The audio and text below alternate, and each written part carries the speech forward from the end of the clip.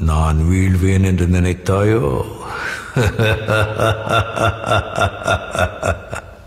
வணக்கங்க. நேற்று super star Rajinikanth அவர்கள் தன்னுடைய நிலைப்பாட்டை அதாவது பேட்டி அறிவித்ததிலிருந்து தான் முதல்வர் வேட்பாளர் இருக்க எனக்கு பிடிக்கல.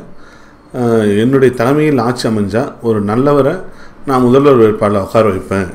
தொடர்ந்து ஆதரவு கொடுத்தா தமிழ்நாட்டை நான் நல்ல நிலைமையில் கண்டிப்பாக கொண்டு செல்ல முடியும் அப்படின்னு தன்னுடைய நிலைப்பாட்டை அறிவித்தார் இதற்கு ரசிகர் மத்தியில் மிகப்பெரிய பலர்த்த அதிர்ச்சி ஏற்பட்டுச்சுன்றது உண்மைதாங்க. பலதரப்பட்ட ரசிகர்கள் இதை ஏற்கலை. அப்புறம் தன்னுடைய தலைவர் ரஜினி அவர்கள் சொன்னதை தன்னுடைய அந்த பேட்டியை போட்டு போட்டு பார்த்து அவர் சொன்னதில் நியாயம் இருக்குது அப்படின்னு உணர்ந்து பல ரசிகர்கள் இப்போ தன்னுடைய மனப்போக்கை மாற்றிக்கின்னு தலைவருக்கு ஆதரவாக வர்றதா இப்போ சோஷியல் மீடியாவில் பார்க்க முடியுது.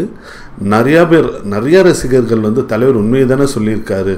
அவர் வந்து அந்த ஏஜ் அவருடைய வயது ப்ளஸ் வந்து நம்ம எதிர்க்கிற ரெண்டு கேண்டிடேட்டும் மிகப்பெரிய பலம் பொருந்தியவங்க. அவங்கள எல்லாரையும் நம்ம எதிர்க்கிறதுக்கு ஒரு பல தரப்பட்ட ஒரு மூணு கோரிக்கைகள் வச்சுருந்தாரு. அது உண்மையான நல்லது தானே அப்படின்னு சொல்லியிருந்தாங்க. இதில் என்ன ஒரு ஒரு சூப்பரான நிகழ்ச்சி என்ன நடந்திருக்குன்னா சூப்பர் ஸ்டாரை வெறுத்தவங்க கூட அவர் இந்த மாதிரி பேசுறது வந்து பல பேர் பல பேருக்கு அது பிடிச்சிருக்கு. குறிப்பாக சில போராளிகளை நாங்கள் சொல்ல வரலைங்க. அவங்க வந்து எப்போ எப்போ ரஜினி நிற்க மாட்டாங்க. ரஜினி இப்போ முதல்வர் போஸ்டிங்கில் இருக்கக்கூடாது அப்படின்னு நிறைய பேர் நினச்சவங்க இருக்காங்க. அதில் குறிப்பிட்ட அளவு யார் குறிப்பிட்டவங்கன்னா சீமான் பாரதி ராஜா அமீர் இவங்கெல்லாம் வந்து ரஜினி அவர்கள் முதல்வர் கேண்டிடேட்டில் நிற்கக்கூடாதுன்னு ஆரம்பத்துலேருந்து எடுத்துன்னு வராங்க. அவங்க பாராட்டி இருக்காங்க. அந்த பாராட்டெல்லாம் நம்ம ஒரு பெருசாகவே எடுத்துக்க வேண்டிய அவசியம் இல்லை. ஏன்னா அவங்க ரஜினி அவர்கள் நிற்கக்கூடாதுன்னு தான் நினச்சாங்க. அது நடந்துருது. ஆனா- அதை வந்து ஒரு இவங்க அது பாசிட்டிவாக எடுத்துக்கினாங்க. ஆனால் சோஷியல் மீடியாவில் மக்கள் அவங்க தன்னுடைய கமெண்ட்ஸை எழுதின்னு வராங்க நிறையா இடத்துல. ரஜினி சார் உண்மையிலுமே அவருடைய அந்த கருத்துக்கள் எங்களுக்கு பிடிச்சிருக்கு ரொம்ப கவர்ந்துருக்கு. அவர் கரெக்டாக தானே சொல்லியிருக்காரு அப்படின்னு சொல்லி பலதரப்பட்ட மக்கள் வந்து இப்போ பாராட்டின்னு வராங்க. குறிப்பாக அதாவது வந்து தமிழ்நாடோட முன்னேற்றத்துக்கு அவர் செயல்படுத்தி இந்த திட்டங்கள்லாம் சொன்னார் இல்லைங்களா? அது உண்மையாலுமே ரொம்ப ரொம்ப ரொம்ப ரொம்ப எங்களை கவர்ந்திருக்கு அப்படின்னு சோஷியல் மீடியாவில் எழுதினு வராங்க. அதில் குறிப்பிட்ட சில கமெண்ட்ஸுங்களை நம்ம அந்த பார்ப்போங்க வீடியோவாக